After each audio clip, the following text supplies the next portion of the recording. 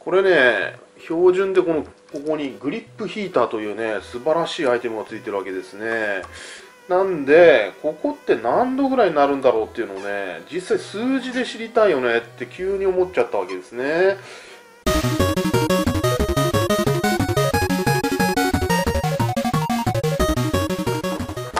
はいスタマオです。これ今手に持ってるものこれなんだか分かりますかね？これです。あとこれです。これはねバイクにね取り付けたいってわけじゃないんですけどちょっと面白そうな計測器を、えー、手に入れました。と言ってもですね大したもんじゃなくてこれただの温度計ですね。これピッて押すとこの先端の部分の今ここの気温が出るわけですね。でこっちも機能的には一緒なんです。これをピッて押すとここに温度が出ます。ここの。ただこっちの温度計はですねとにかく反応速度がめちゃくちゃ速い温度計なんですね。これこの先端に触るともうすぐこうやってそこの温度が出るわけですね。で離すとまた元の温度に戻っていくわけですね。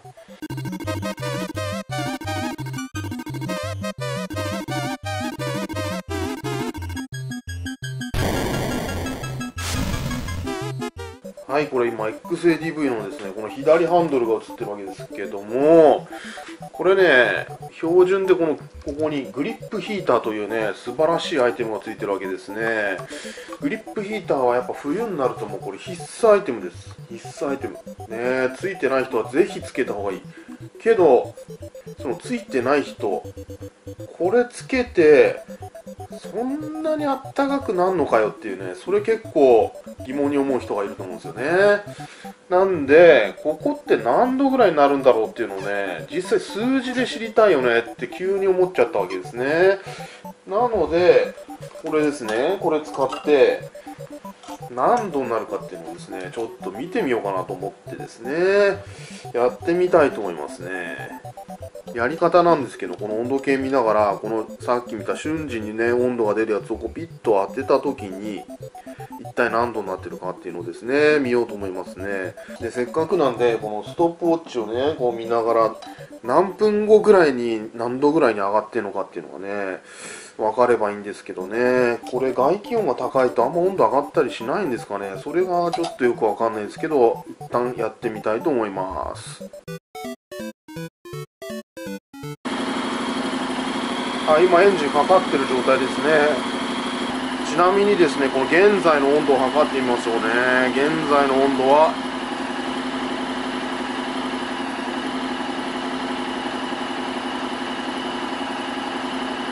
まあ21度。22度。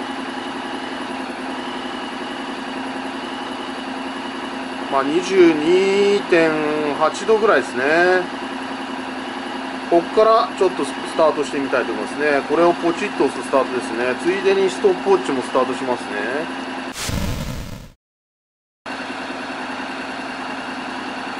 おおよそおおよそ1分経ちますね。ちょっと温度を見てみます。えー、っと。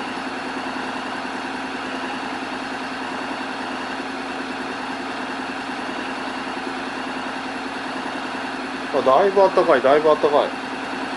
1分で30度までいったぞ。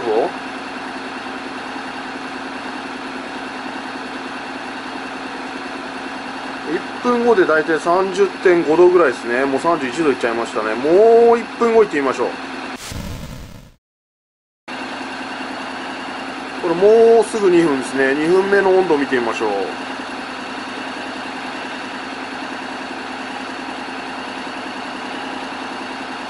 もう2分ですね。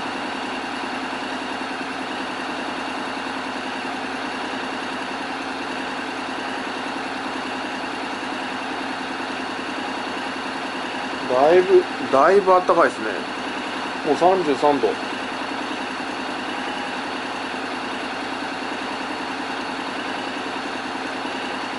おおよそ33度ですね。じゃあ5分後までちょっと行ってみますね。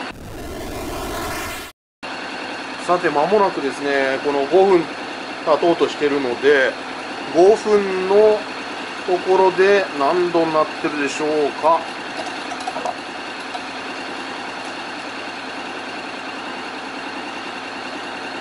だいぶあったかいとだいぶあったかいだいぶあったかい。37度38度39度40度41度だいぶいいだいぶいい。もう厚めのお風呂。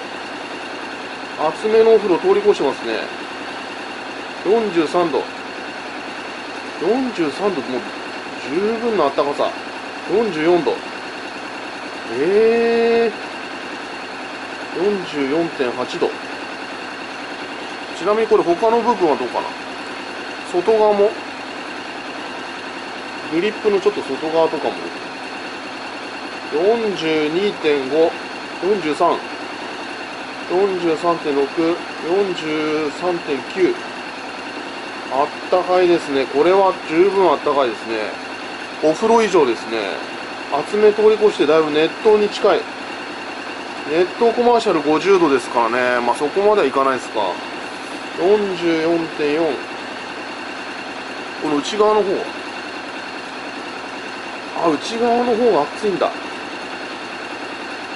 ああ内側の方があったかいですね。48.56今時間はね6分20秒ぐらいですね。えー、だいぶ暑い。ちょっと10分まで見てみますかね。10分まで今もう47度まで上がってきた。はい。ちなみにですね今もうえー、10分になろうとしてます。ちょっと温度確認したいと思います。今はこれをタッチするとだいぶ温度高いですね。ネットコマーシャル温度まで行きますかね。この辺で終わりか？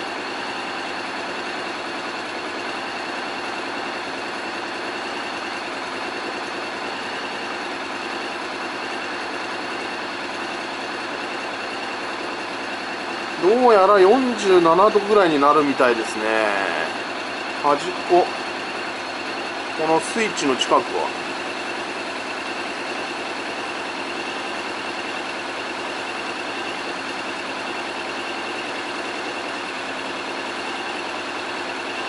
ああやっぱ4050度はいかないですね。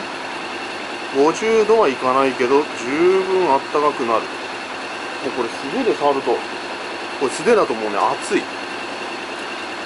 ちなみにこの右側のグリップ。今右側のグリップ触ってますけど右側のグリップも同じような感じですね。47度。ちなみに今グリップヒーターってこれこのあったかさを調整できるんですね。今最強です。5段階の554321オフっていうことができますね。今見たのはこの5段階の5で見ました。